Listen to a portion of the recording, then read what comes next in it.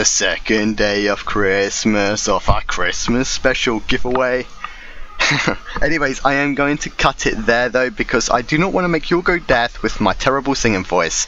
So, I have added every single person who commented on my last video who followed every guideline to be entered onto today's wheel. So let's just get straight in with it and spin to see who the second bond winner is. So let's give it a little click who the winner is going to be. Braska. Braska, you are today's winner. Congratulations.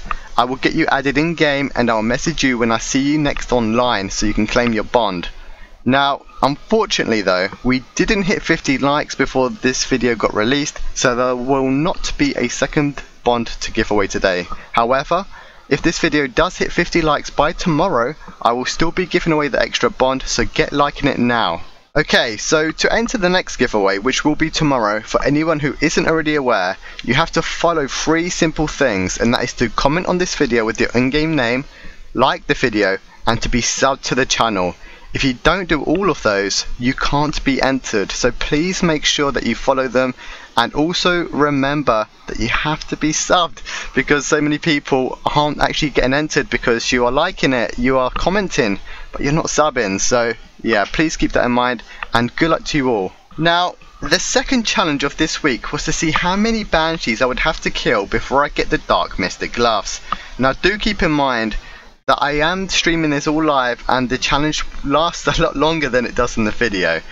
But this was a great challenge for me to do as I needed to get essence on the account for when I start crafting cosmics as well as getting a few herbs for some extra herb, herb levels for a couple of quests such as legends and stuff. And herb in general is just a fantastic skill to get up on any Iron Man account. Now keep in mind as well that the gloves are a 1 in 512 chance to drop so I could have gone over a thousand kills pretty easily. If anyone doesn't already know, I'm over a thousand kills in Zilyana with no hilt, and that's a 1 in 512 chance as well. But um, yeah, I did get extremely lucky on this actual drop, so I ended the challenge quite early unfortunately, as I did manage to get them in only 71 kills. I actually have no use for the gloves either, but as I do aim to go for all unique items in the future on this account, they will just get added to the collection, and I believe it's the first actual unique item I've had of any monster on this account so far, so that was pretty cool.